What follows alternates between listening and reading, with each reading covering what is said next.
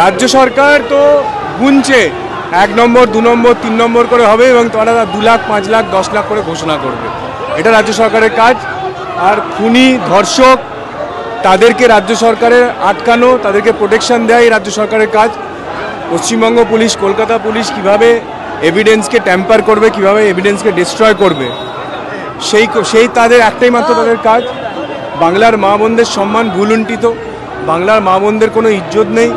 বাঁচার পর্যন্ত আজকে যে যে বেসিক যে ফান্ডামেন্টাল রাইটস সেটা পর্যন্ত নেই বাংলা মা বোনেদের।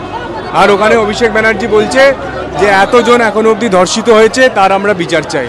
উনি ঘরে বসে এসি রুমে বসে বসে গুন- গুনে চলেছেন।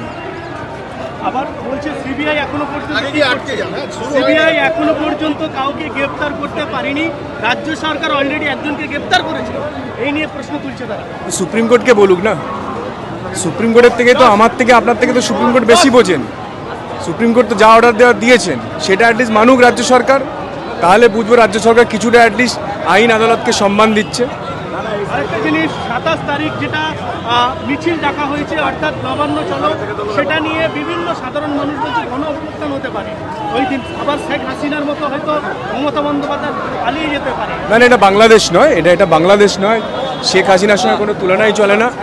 এটা আমাদের লড়াই এটা আমাদের মানুষের অস্তিত্বের লড়াই মা বোনেদের সম্মান লক্ষণ লড়াই। এর সঙ্গে বাংলাদেশ হাসিনা প্লিজ কোনো তুলনা করবেন না।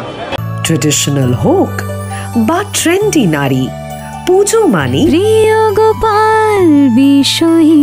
কলকাতায় আর জেলায় জেলায়। চাইনিজ চাইনিজ চাইনিজ শুধু চাইনিজ কেন? জমি খাওয়া দাওয়া মানেই কল্যাণী ঢাকেশ্বরী চাইনিজ রেস্টুরেন্ট যেমন সুস্বাদু খাবার তেমনই রিজনেবল প্রাইস তাই বাড়িতে বসে আর কি ভাবছেন?